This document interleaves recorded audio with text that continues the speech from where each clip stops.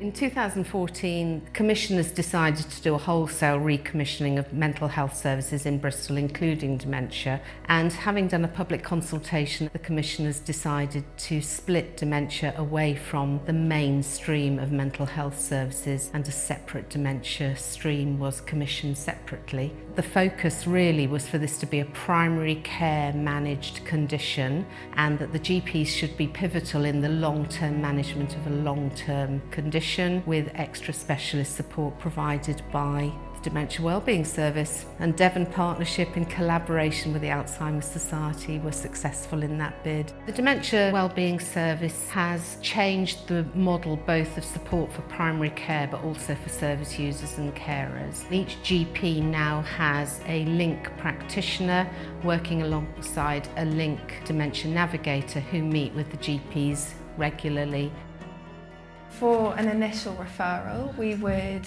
uh, go out and visit the person and usually they'll have some family members there. It's a chance for us to introduce ourselves and talk about the service. We're able to signpost people to local groups, um, local services that might be able to support them better at home, local groups that um, sort of like day centres or singing for the brain, things like that, we can support people to try out.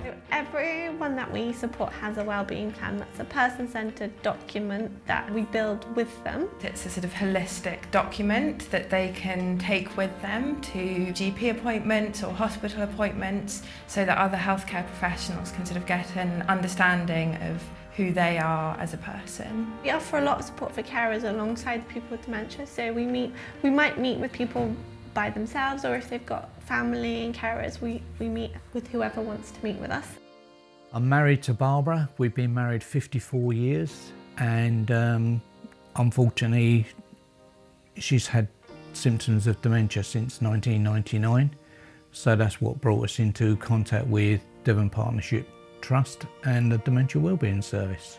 Before the Wellbeing Service came into being, you could ring your GP, you could ring the hospital, you could ring a number of different agencies and you'd be passed from pillar to post.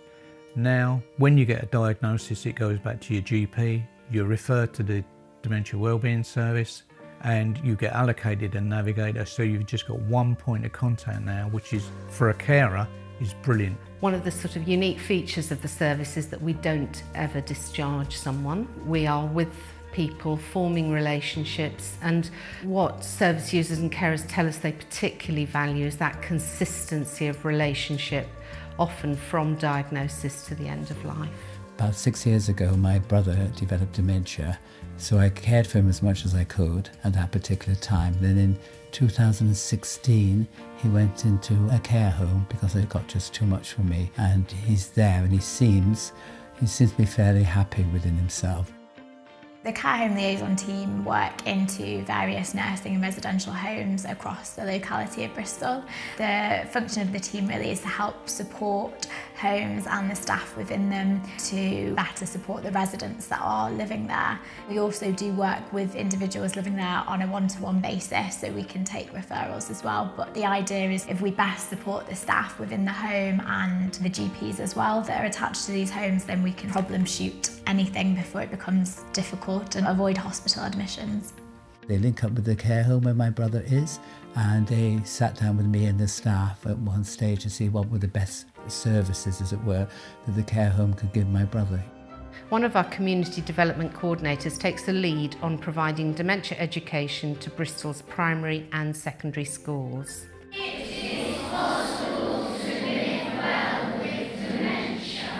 The main remit of my role is to help create the first dementia-friendly youth generation in Bristol schools. It's a really exciting role and I'm going into a range of schools across Bristol trying to help raise dementia awareness and it's part of the aim to help Bristol to become more dementia friendly as a city. I've been delivering in schools in Bristol for the last 18 months and I am now working with over 30 schools and in that time I've delivered over 200 sessions, worked with approximately 9,000 pupils and have created over 4,000 dementia friends, which is amazing. To the best of my knowledge it is unique and something that we're really proud to be delivering. I think the impact is very significant already and it's something that it would be fabulous if we could roll it out further.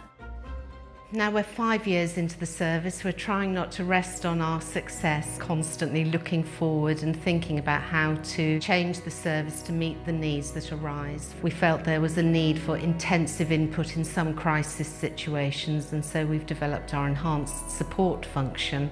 Our aspiration has been to continue the work that we've developed over the last five years to make Bristol a more dementia aware and more dementia friendly community, to increase the confidence of primary care in supporting people living with dementia, to listen to feedback, to adapt our service according to that feedback and to grow and prosper in the future.